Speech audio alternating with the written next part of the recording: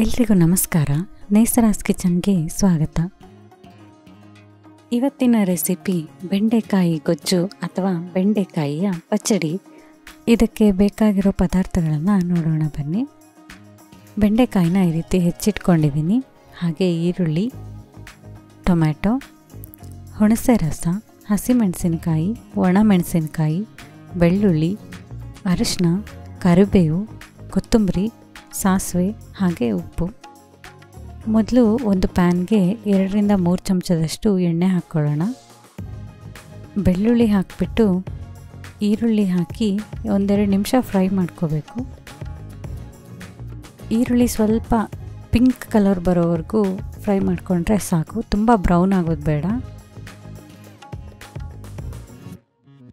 ಈಗ ಬೆಂಡೆಕಾಯಿ ಹಾಕ್ಬಿಟ್ಟು ಒಂದೆರಡು ನಿಮಿಷ ಫ್ರೈ ಮಾಡೋಣ. ಫ್ರೈ ಆದಮೇಲೆ ಟೊಮೆಟೊ ಹಾಕೋಣ. ಹಾಗೆ ಒಂದು ಅರ್ಧ ಚಮಚ ಅರಿಶಿನ ಹಾಕಬೇಕು.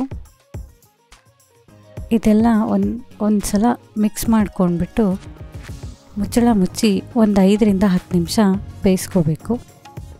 ಬೆಂಡೆಕಾಯಿ ಎಣ್ಣೆನಲ್ಲೇ ಫ್ರೈ ಆಗಬೇಕು. ಈಗ ಹಸಿಮೆಣಸಿನ್ಕಾಯಿ, ಹುಣಸೆ ರಸ ಮತ್ತು ಸ್ವಲ್ಪ ರುಚಿಗೆ ತಕ್ಕಷ್ಟು ಉಪ್ಪನ್ನು ಹಾಕ್ಕೊಂಡು ಬೇಯಿಸ್ಕೋಬೇಕು.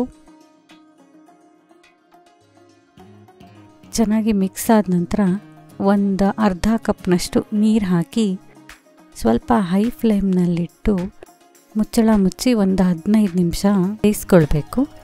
ಹದಿನೈದು ನಿಮಿಷ ಆಗಿದೆ. ಈಗ ಪೂರ್ತಿಯಾಗಿ ಬೆಂದಿದೆಯಾ ಅಲ್ವಾ ನೋಡೋಣ. ಬೆಂಡೆಕಾಯಿ ಈ ರೀತಿ ಇಷ್ಟು ಬಂದರೆ ಸಾಕು. ಈಗ ಸ್ವಲ್ಪ ಮ್ಯಾಶ್ ಮಾಡ್ಕೊಳ್ಳೋಣ. ಬೆಂಡೆಕಾಯಿ ಪೂರ್ತಿಯಾಗಿ ಮ್ಯಾಶ್ ಆಗೋದು ಬೇಡ.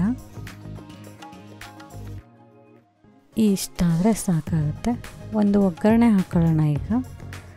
ಒಗ್ಗರಣೆಗೆ ಎಣ್ಣೆ ಹಾಕಿಬಿಟ್ಟು ಸಾಸಿವೆ ಸಾಸಿವೆ ಸಿಡಿದ ನಂತರ ಒಣಮೆಣಸಿನ್ಕಾಯಿ ಮತ್ತು ಕರಿಬೇವು ಹಾಕ್ಕೊಳ್ಳೋಣ ಒಗ್ಗರಣೆ ತಯಾರಾಗಿದೆ. ಈಗ ಮ್ಯಾಶ್ ಮಾಡಿಟ್ಟಿರೋಂಥ ಪಚ್ಚಡಿ ಅಥವಾ ಗೊಜ್ಜಿಗೆ ಒಗ್ಗರಣೆನ ಮಿಕ್ಸ್ ಮಾಡಿಕೊಂಡ್ರೆ ಬಿಸಿಯಾದ ಅನ್ನದ ಜೊತೆ ತಿನ್ನೋದಕ್ಕೆ ಬೆಂಡೆಕಾಯಿ ಗೊಜ್ಜು ರೆಡಿಯಾಗಿದೆ